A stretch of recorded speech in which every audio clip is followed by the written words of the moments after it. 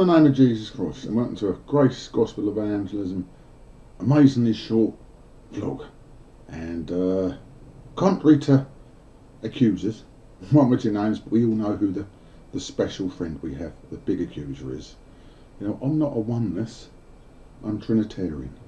Just thought I'd get that one out. Okay, and saying Jesus is God is not being oneness, because Jesus is God, the Father is God, and the Holy Ghost is God. One God, three persons, is all being co-equal, coexistent, and they all God. Jesus, the Father, and the Holy Ghost.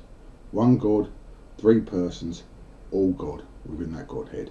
So, have a look here. There's a video that I made proving the triunity and coming against modalism, aka oneness.